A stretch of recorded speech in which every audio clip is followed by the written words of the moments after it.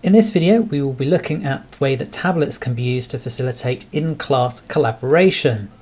And we'll be using the examples of Google Sheets and Google Docs. Google Sheets is a spreadsheet platform and Google Docs is a document platform. Now, the applications you'll need on your tablet are Google Drive, and Google Sheets and Google Docs. Now, if you install Google Drive and then you try to open a spreadsheet or a document that's built within Google's native Sheets and Docs format. That's not a Word doc and it's not an Excel file. It's a type of document that only can exist within Google Drive. It's a collaborative one, it's stored on the cloud. Then you'll be prompted to also install Sheets and Docs when you first open one of those types of files. So let's have a look at Google Sheets. Now Google Sheets allows you to ask your class to do calculations on the fly. Uh, you can create a preset template uh, or a preset document that your class wants to fill in, in during the session and it can give you the opportunity there to collect data or analyze data together. And you might want to decide to set up multiple sheets for different groups, or you could just simply set up one sheet and get the whole class to contribute towards it. So let's have a look at it in practice. For this example, we'll be using um, as it appears on a computer, but the principles are identical as to how it would appear on a tablet. On the left-hand side is my Google Sheet, my example spreadsheet with Google Sheets as the format. And this is what the tutor's view would be. They'd set up the document perhaps in advance, and then you'd share it with the tablets that you'll be using. Now our tablets here have their own account and that allows us to share the documents with that tablet for, for use in class. So you'd share it with um, the tablet's email address, the, email, the account that goes with the tablet, simply by typing it into the bottom and then ensuring can edit is set. Once you click send, that will actually change the access so that the tablet user can access the spreadsheet. So now we're in the situation where this spreadsheet here is also accessible by the tablet. On the right hand side is going to be representing the tablet's account. So what we can do on the tablet is using Google Drive or using the Google Sheets application, view the files that have been shared with us. We have to go to shared with me, um, which is a section of your Google Drive, before you'll be able to see all the files that have been shared with you. And we can see in this particular folder, this whole folder has been shared by me as the tutor and SPSW 550 is the tablet account.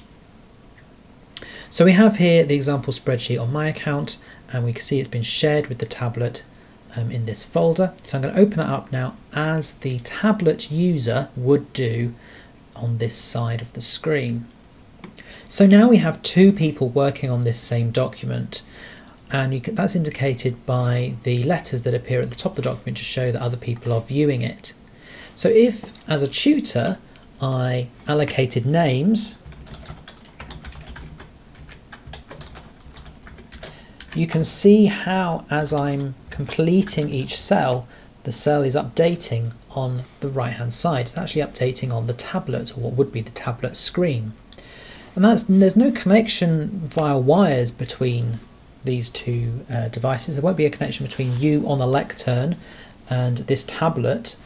This is happening through Google Sheets. Google Sheets is a cloud-based spreadsheet. The file exists on the cloud. It doesn't exist on any one device. So the other advantage here then is that students could add their own values into these boxes and the calculations will update accordingly and on your tutor screen you can see who's contributing and who's adding the values.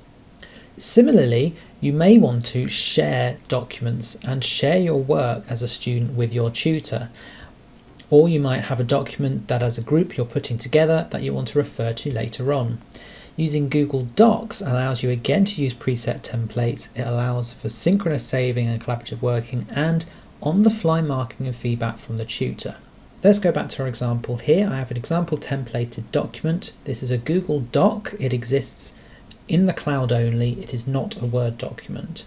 So this Google Doc as a cloud-based document I have shared once again with my tablet user account. And you could put all the student accounts on here as well for the class, and then they can open it up on their own devices if they so wished.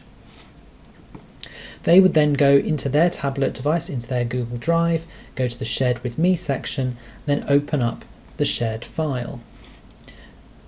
And again, the little cursors now tell us who's editing what. So if I, as the tutor, make a change, you can see it immediately updates the student view of the document. So there's a benefit here. If the students are adding uh, ideas in, you as the tutor on the Lectern PC could observe these ideas being added. You could then provide feedback by adding a comment based on that area. And then the student will see that feedback coming in live as they're editing the document. For students to use this beyond the session, they will need to add their own emails onto the sharing box. So within the tablet facility, they would need to go to share and add their own email addresses, and that would then share the document back to their own personal accounts. So I hope that's presented some ideas there on how you might want to use a, uh, the tablet within a session to collect ideas, to ask students to produce a piece of work together in the session that you could provide feedback on remotely, um, and a way of really creating a more engaging activity that establishes the creation of ideas rather than the consumption within a teaching session.